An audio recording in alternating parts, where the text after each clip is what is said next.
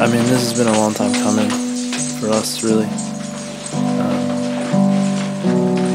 you know, I think it just it took us a while to realize that it's you know you you can't just hope that you know someone's just gonna find you or something. You know, you kind of have to go out there and do it yourself, get people's attention, and work. You know, it's a lot of work. it looks like it's starting to pay off, you know? Like, we worked hard a long time, and now it's like, you know, we got our first tour coming up, and uh, going in the studio, some of our best work. It's just, uh, it puts a smile on my face, you know? Yeah, I'm, I'm really excited. I think we're all really excited. it's, it's been a long time coming.